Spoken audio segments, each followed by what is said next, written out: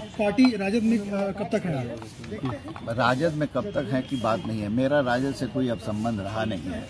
और आने वाले समय में हम लोग बात करेंगे क्या है क्या करना है नहीं करना है समय आएगी मैं आप लोगों से आपने मुख्यमंत्री। से बातचीत किया है क्या कुछ निर्णय लिया गया? अगला चुनाव जी से मेरे- मेरी मुलाकात हुई है मगर क्या बात हुई है थोड़ी हम आपसे आप जेडीयू कब ज्वाइन कर रहे हैं? हैं?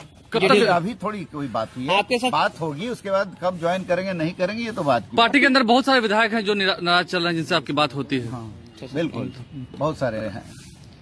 क्या ऐसी पार्टी में वजह है? हाल ही में चुनाव भी हुए थे तो कहीं ना कहीं असर नहीं दिख रहा था। किस चीज़ का? मतलब पार्टी में प्रभाव नहीं दिखा था इसलिए काफ़ी विधायक नाराज़ हैं कि कोई और बात है। नहीं नहीं बहुत सारे विधायक नाराज़ हैं। उस तरह वहाँ जिस तरह से पार्टी चलती है उससे बहुत लोग नाराज़ हैं। मैंने बताया ना कि सारे जितने भी लोग लोकसभा के चुनाव लड़े थे कई लोगों ने वो- कई कैंड ऑफिशियल कैंडिडेट्स ने आकर के बाद में जब मीटिंग हुई तो शिकायत किया कि किस किन लोगों ने गद्दारी का करने का काम किया किन लोगों ने ऑफिशियल कैंडिडेट का ओपनली विरोध करने का काम किया। सारे जगह से आश्वासन मिला कि नहीं उसमें अनुशासनिक अनुशासनात्मक कार्रवाई की जाएगी।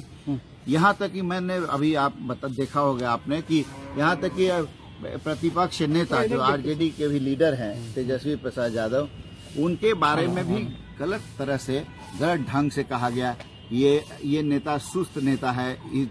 दो घंटा वर्क नहीं कर सकता है। दो ही मीटिंग करने के बाद लेढ़ुआ जाता है। ऐसी बातें, गलत बातें भी की गई, मगर उन लोगों पर कार्रवाई छोड़िए। उन लोगों को एक तो शो कॉज नोटिस भी नहीं किया गया। तो इस तरह से क्या पार्टी चल सकती है? बिना अनुशासन, कुछ लोग, कुछ लोगों को पूरी छूट दे दी जाती है। ऐसे ऐसे बात करते हैं जिसे लोगों को अपने आप पर एम्बेरसमेंट होने लगता है कि कैसे कैसे कैसे लोग हम लोगों के पास? दिनों से हैं। जदयू क्यों आपको पसंद पड़ा? अब अब जदयू क्यों पसंद पक्षपात होता है क्या? में?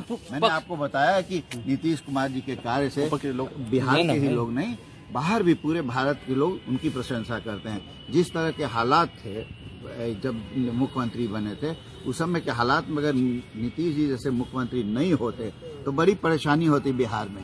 न रोड की की व्यवस्था ठीक थी न बिजली की व्यवस्था कानून की व्यवस्था कानून व्यवस्था को आप समझ ही रहे हैं। तो इन सब चीज़ों से प्रभावित निश्चित रूप से पहले भले ही मैं विपक्ष में था उनके खिलाफ था मगर उनके कार्यों से प्रभावित। आप कह रहे हैं कि पक्षपात होता है तो क्या उस पर तेजस्वी यादव कार्रवाई नहीं करते थे पार्टी में? पक्षपात यदि होता तो था। बात की सुनवाई ही नहीं होती कार्रवाई की कौन बात? मैंने आपको कहा ना कि यहाँ तक शोकॉज नोटिस भी नहीं किया गया कि आपने क्यों ऑफिशियल कैंडिडेट का विरोध किया। विरोध करना तो अलग उनके बारे में भद्दी भद्दी बातें कही गई ओपनली उन पर भी कोई कार्रवाई नहीं हुई।